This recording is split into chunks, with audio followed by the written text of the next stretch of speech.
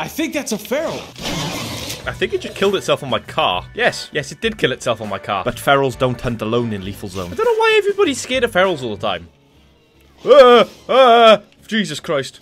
Oh, you just took out my freaking door, knobhead. I then take a moment to back over his mate as revenge is a dish best served with a spiky ass.